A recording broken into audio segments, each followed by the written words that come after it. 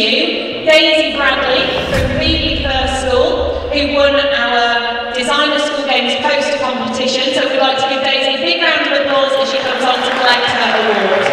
It came from, I looked at all the values and thought about all the good things about them and then put what they mean to me. Sport uh, has a massive uh, role in my life. It gave me my first job as a disability sport coach. Uh, still do that job now, and I'm thankful to play wheelchair basketball as part of my career as well. Uh, so I'm very lucky. Very similar to what you're doing now, like it's a multi-sport event. Um, you know, you meet people that you don't you probably wouldn't normally meet, you make new friends. We are Please don't announce the Winter School Games open. Uh, well, today there's over a thousand young people taking part, 90 uh, volunteers supporting the event. Um, with regards to bringing it all together, there's multiple partners involved, um, including primary schools, secondary schools, um, and the planning for today's event started in September last year. Um, so it's taken around about six months to plan. The school games are a London 2012 legacy programme. Um, they actually started the year before in 2011, so this is their sixth year. And in Herefordshire and Worcestershire in particular, they get bigger and better every year. Um, you can see behind the handball's going on. That's a new sport for this year, and that was identified as a demand amongst pupils across across Worcestershire. And um, if it continues, which I'm sure it will, the, the games will just get bigger and bigger to continue that legacy from London 2012 and hopefully get more people taking part in sport physical activity.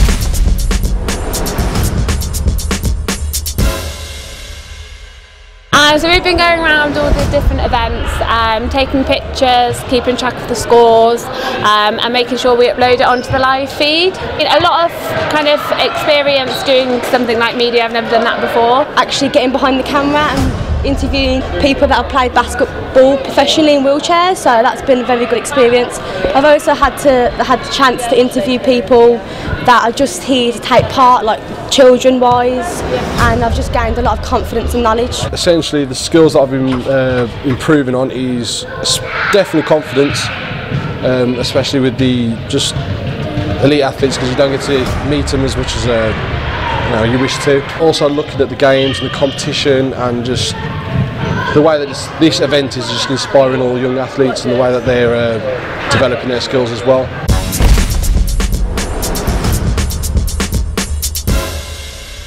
What have you enjoyed today about this event? Um, I've enjoyed that we were able to socialise with other schools as well as playing against them, and I think that it was just good because it was a competitive scene and everyone was getting involved. Yeah, I, I really enjoyed playing as well. Like it's good to be like competitive as well as just like making friends and stuff like that. There's no sportsmanship with all the other teams coming together. yeah, it's good fun. They have a bit of a build-up obviously to try and get here in the first place. It means that we have more people come to extracurricular clubs because they want to be a part of this. Um, obviously we've got a lot of young leaders involved as well, so um, it gives them a chance not only to perform as a sports person but also to take part as a leader. So it's a big event for us in our school and we really enjoy coming. I've been in like their situation where I've been at the school games and it's like quite tense and a bit daunting sometimes and feel like I can put them at ease a bit. Like It's important to volunteer such as yourself and would you do it again? Uh, yeah, it is important and yeah, I would do it again. Um, in, in, events like this and other events that we run, students are essential with regards to making sure they happen. Like I said, there's over 90 here today.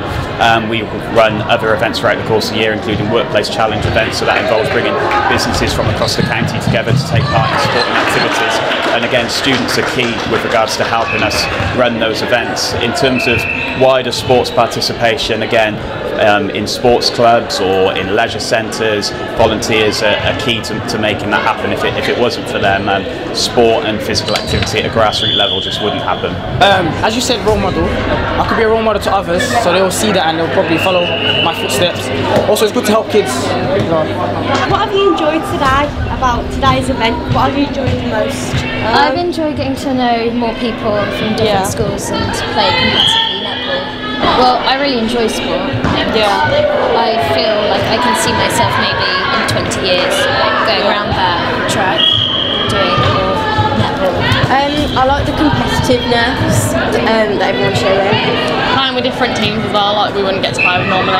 Obviously, sport it gives you determination to do things in life, and it, sh- it gives you like other like skills that you can use outside of sport. I think it's just an experience for us to try out a new sport. But I, I think Ash as well. We didn't have any prior experience to it. No, no experience at all. So, what skills do you think you've developed throughout today's event and other events such as this? Uh, I feel we've uh, come together as a team. A lot of the teamwork that we've put together and competitiveness has uh, really come into play with what we've been doing.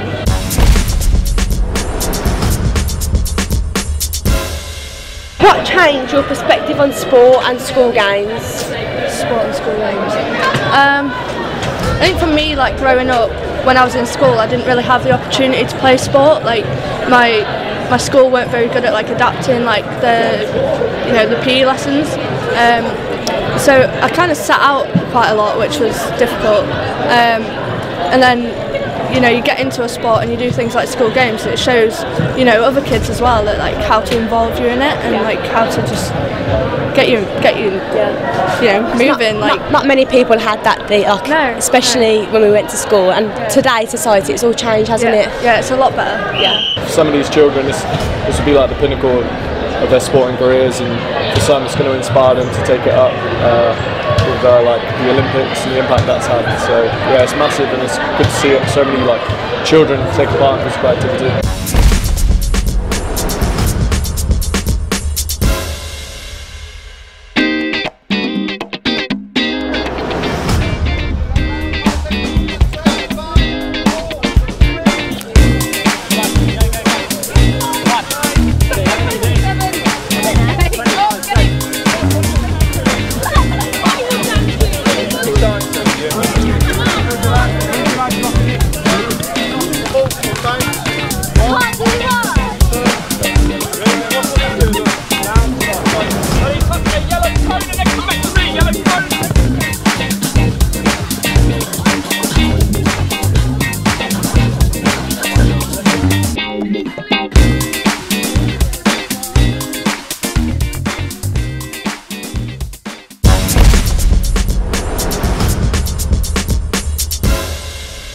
So, what do you feel like is the benefits of engaging in an event like this, especially for the young children, the generation that's coming up? uh, children that are now down here in, in year three or year four, hopefully it's that pathway that they Yeah. can progress, you know, to, to the national. So taking part for their school, the pride in taking part in a local event for their school, to then come and represent them, them here, to go on to nationals and all those kinds of things, it's absolutely huge. And do you feel there's any future plans that may be changed or anything that could Hopefully not. improve?